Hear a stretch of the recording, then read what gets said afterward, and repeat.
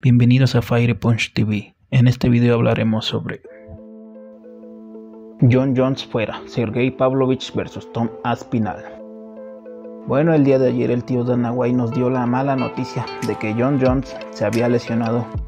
De hecho, pasó un video de cómo estaba entrenando lucha y parece ser que se lesionó un pectoral y por lo que dicen fue el tendón que conecta con el hueso. Y pues estará fuera por al menos 8 meses, si no es que más tiempo. Y pues, ¿qué pasa con Stipe Miocic? Parece ser que la UFC quiere que se haga esa pelea sí o sí. Por eso no lo están colocando para pelear por el campeonato interino. Entonces supongo que reprogramarán esta pelea entre John Jones versus Stipe Miocic para algún momento del 2024. Eso es lo que yo pienso que va a pasar.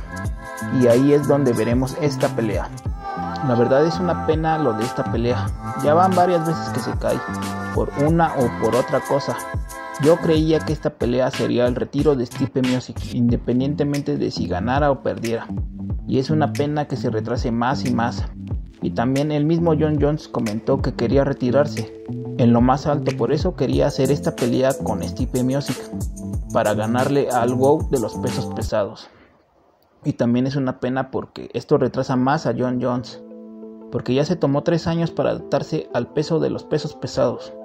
Ahora con esta lesión prácticamente se tomará otro año. Y bueno, lo de esta lesión pues no es su culpa en sí, son cosas que pasan, pero sí es una pena que no podamos verlo pelear tan seguido como quisiéramos. Pero bueno, entonces como evento coestelar programaron la pelea entre Tom Aspinall versus Sergei Pavlovich. Sergei Pavlovich ya estaba programado como reemplazo por si alguno de ellos se lesionaba o pasaba algo así. Y pues bueno, ahora es su momento de brillar. Y por su parte, ya le preguntaron a Tom Aspinall sobre todo esto, y él comentó que él piensa que Pavlovich es el tipo más peligroso dentro de la UFC que para ser honesto, él está en la situación más peligrosa, peleando con el tipo más peligroso de la UFC, con tan solo dos semanas de aviso, pero que está dispuesto a poner todo en juego, que ese es su sueño. Yo creo que esta es una muy buena pelea. Yo esperaba que esta pelea ocurriera en algún momento del próximo año, pero nos la adelantaron y creo que está bien. Y como evento estelar sería la pelea entre Jiri Prochaska versus Alex Pereira.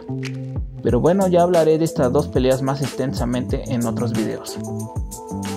Pero tú qué piensas? Déjame saber tu opinión en los comentarios. Muchas gracias por ver el video y si te ha gustado la información aquí mostrada, por favor deja tu like y suscríbete. Nos vemos en el próximo video.